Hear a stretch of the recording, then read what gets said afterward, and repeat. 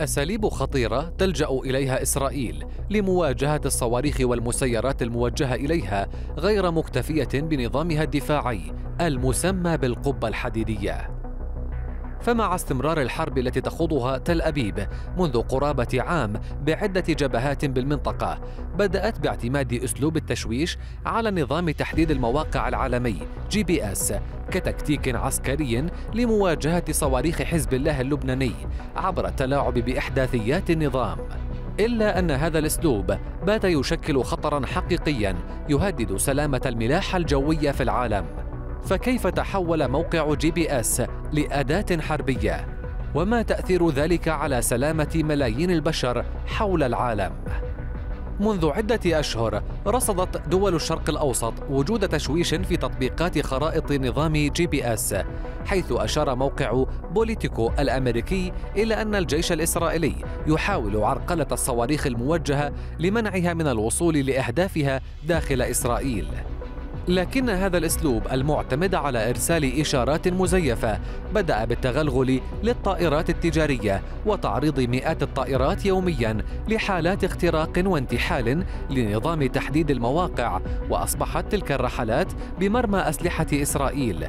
فالطائرات المدنية تواجه الإشارات الإسرائيلية المزيفة المستخدمة لصد المسيرات والصواريخ.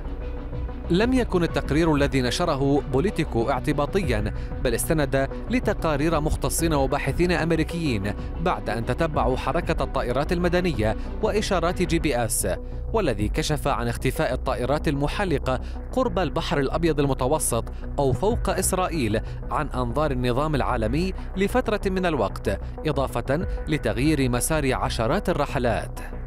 الهجمات التي يتعرض لها النظام العالمي رفعت عدد الرحلات الجوية المتضررة لأكثر من ألف رحلة خلال أغسطس 2024 وفقا لتحليلات معهد SK I Data Services حيث تتسبب البيانات المزيفة المتسربة لقمرة القيادة بأعطال تستمر لبضع دقائق أو طوال الرحلة.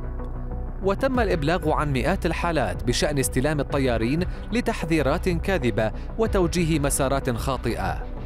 تزايد المخاطر المتعلقة بأمن الطائرات المدنية إثر اختراق نظام جي بي اس الذي طورته أمريكا واعتمدته رسميا عام 1995 دفع شركات الطيران للبحث عن حلول وبدائل لهذا النظام. وبات اليوم أمام تحديات كبيرة في ظل توجه شركات الطيران لتدريب طياريها على أنظمة ملاحه أخرى احتياطية في الوقت ذاته تسعى الشركات المصنعة للطائرات وشركات الطيران للتوصل إلى حلول قصيرة الأجل وإصلاحات طويلة الأجل لتدارك مشاكل عمليات التلاعب بالبيانات وإحداثيات الطيران.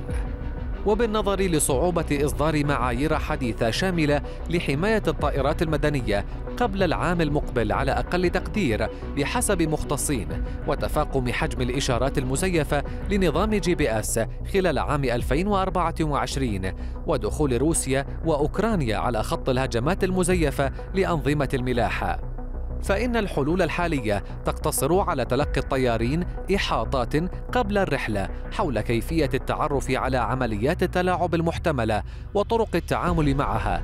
لكن هذا الإجراء لا يمثل حلا جذريا للطيارين المدنيين الذين يحلقون فوق بعض أكثر الممرات الجوية ازدحاما في العالم.